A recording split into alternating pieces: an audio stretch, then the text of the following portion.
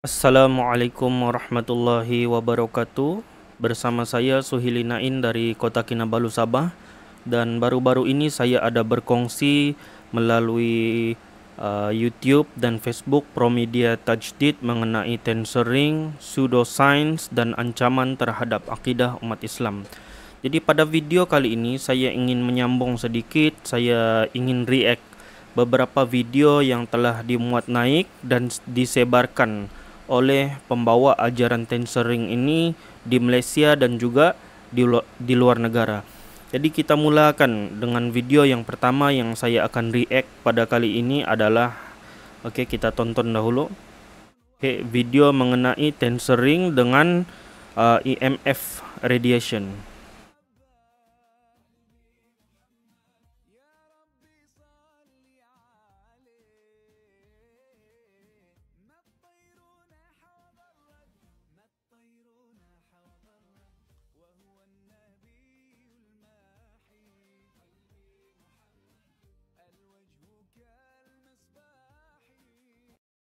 Oke, jadi dalam video ini uh, individu yang merakam ini dia gunakan satu alat yang dikatakan boleh mengesan uh, radiasi EMF.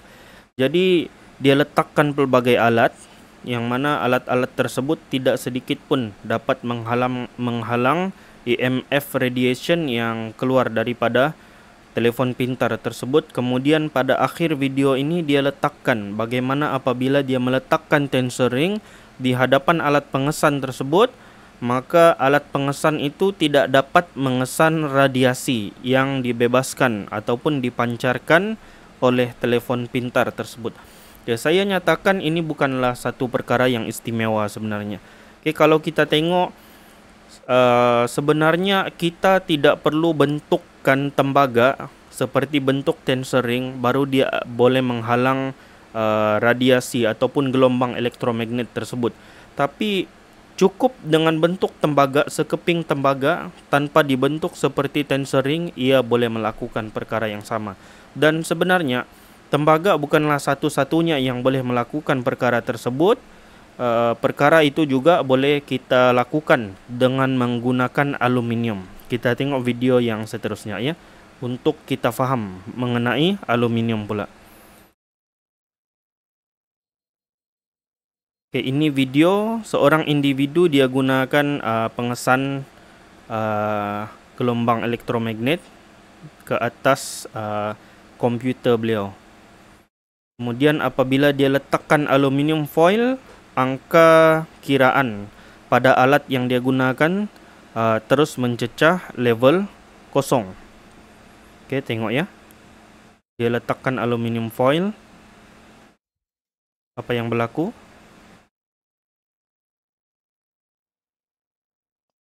Oke, bacaan tersebut menjadi kosong. Jadi ini bukanlah satu perkara yang istimewa sebenarnya mengenai produk tensoring yang digembar-gemburkan. Kita boleh melakukan perkara yang sama dengan menggunakan aluminium foil sahaja. Dengan harga yang lebih murah, kita boleh dapatkan di pasaraya yang berada berdekatan kita. Walau bagaimanapun sebenarnya dengan meletakkan sekeping aluminium foil ataupun tembaga sebenarnya tidaklah cukup untuk menghalang diri kita daripada terkena radiasi uh, EMF. Okay.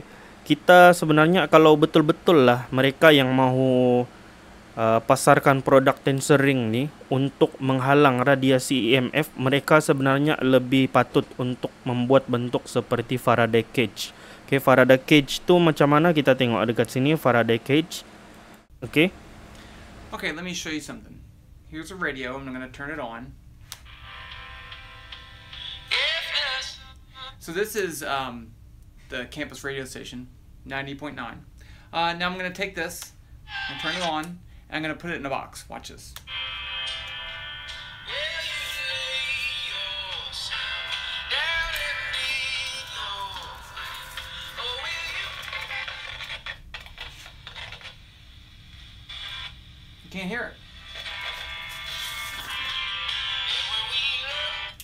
Then you can't.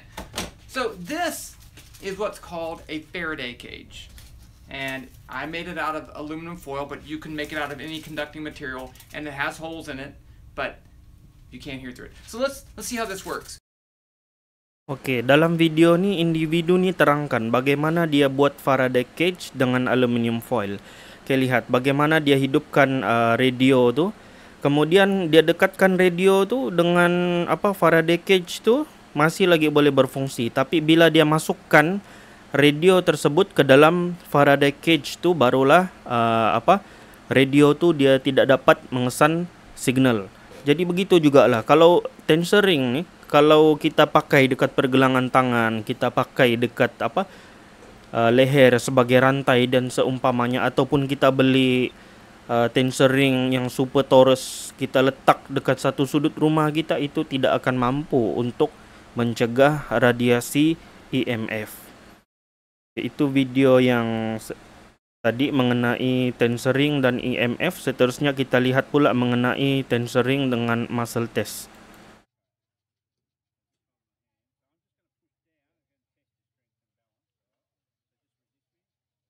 Oke, ini lelaki ini dia Oke, ini demonstrasi yang pertama dia buat. Oke, tadi dia tarik lelaki yang pakai topi ini, lelaki itu tumbang. Oke, kali yang kedua dia suruh lelaki yang pakai topi ini pegang tensor ring di sebelah tangan dia, kemudian lelaki tersebut bila dia coba tarik dia tidak tumbang. Oke, apa rahasianya? Kita tengok semula video ini ya. Oke. Tengok, perhatikan kedudukan kaki lelaki ini dan arah dia menolak. Oke, dekat sini kita dapat perhati dia tarik lelaki yang memakai topi ini ke tepi. Oke, tengok kedudukan kaki lelaki ini. Kali ini dia undur ke belakang dan dia tekan ke bawah. Oke.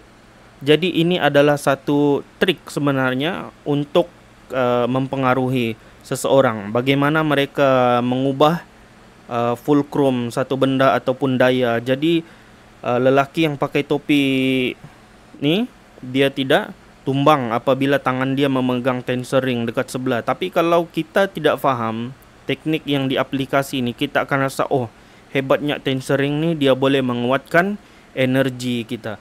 Oke, sekarang kita tengok video yang terakhir yang saya ingin react untuk kali ini. Ke video yang dimuat naik di laman TikTok mengenai manfaat tensoring.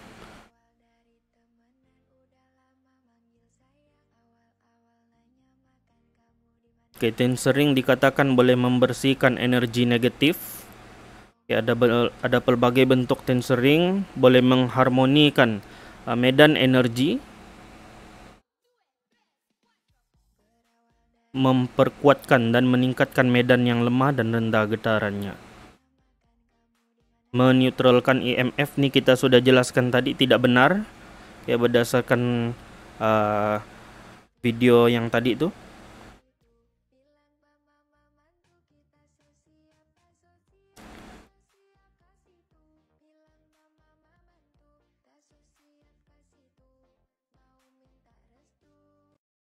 Okey. Jadi saya sebelum saya ulas lebih lanjut saya ingin ulas mengenai kelebihan tensoring ni dia boleh apa uh, mengayon air supaya menjadi lebih alkali kata tadi kalau saya tidak silap. Okey. Sebenarnya tu tidak menunjukkan keajaiban tensoring pun. Apa-apa benda pun dekat dunia ni kita boleh pakai dengan bahan kimia yang tertentu, kita boleh ionize air kan. Kita boleh guna apa untuk air menjadi alkali tidak menjadikan sesuatu alat itu sesuatu yang ajaib. Contohnya kalau kita guna mesin penapis air, dia ada fungsi ionize contoh contohnya lah ataupun dia membuat air itu lebih beralkali. Adakah itu menunjukkan bahawa mesin itu boleh meningkatkan energi kita? Okey. Dan kita kena faham dari sudut energi pula dari segi saintifik. Benarkah ada wujud energi yang negatif dan energi yang positif? Kalau kita tanya dengan mereka yang membawa ajaran New Age ni, mereka biasa menjelaskan energi yang negatif ni adalah energi yang low frequency. Energi yang tinggi, positif adalah energi yang high frequency. Sebenarnya ini tidak ada dalam istilah sains ya. Tidak ada energi negatif, energi positif. Dalam sains sesuatu yang mempunyai energi yang uh, mempunyai frekuensi yang rendah boleh jadi memberikan manfaat dan sesuatu yang mempunyai frekuensi yang tinggi boleh memberikan mudarat kepada kita. Sebagai contoh, tuan-tuan boleh tengok dekat sini. Okey, gelombang elektromagnet ni dia terbahagi kepada non ionizing dan ionizing, okey? Boleh tengok dekat sini bagaimana gelombang yang rendah tu radio wave dia boleh memberikan banyak manfaat kepada kita seperti uh, gelombang microwave seperti gelombang radio yang boleh menyebabkan banyak elektronik kita berfungsi pada hari ini. Kemudian uh, gelombang yang mempunyai frekuensi yang tinggi pula dia boleh ionize. Okay, kalau kita terdedah dengan gelombang frekuensi yang tinggi itu boleh memberikan kemudaratan kepada diri kita. Jadi itu sahaja review saya, ulasan saya mengenai beberapa video tensoring yang tersebar di media sosial sama ada YouTube, TikTok ataupun Facebook. Kesimpulannya, perkara berkaitan tensoring ni adalah satu benda yang pseudoscience dan khurafat. Okay, dalam video yang lebih panjang yang disiarkan di Pro Media Tajdid, saya telah buktikan, saya telah jelaskan bagaimana tensoring ini membawa unsur syirik, membawa unsur spiritual agama lain yang seterusnya memberikan ancaman kepada akidah. Jadi pesan kepada saudara mara kita ataupun sahabat-sahabat kita, adik-beradik kita kalau nampak uh, iklan mengenai produk tensering ini tidak perlu habiskan duit Anda untuk membelikan pro, untuk membeli produk yang hakikatnya tidak memberikan manfaat tetapi memberikan bahaya kepada akidah. Sekian daripada saya. Wassalamualaikum warahmatullahi wabarakatuh.